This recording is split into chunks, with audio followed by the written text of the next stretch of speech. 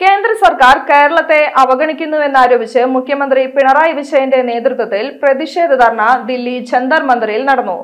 മുഖ്യമന്ത്രി പിണറായി വിജയൻ മന്ത്രിമാർ M L എമാർ ദില്ലി മുഖ്യമന്ത്രി അരവിന്ദ് കെജ്രിവാൾ തമിഴ്നാട് മുഖ്യമന്ത്രി എം കെ സ്റ്റാലിൻ മറ്റു മന്ത്രിമാർ നേതാക്കൾ തുടങ്ങിയവർ സംബന്ധിച്ചു.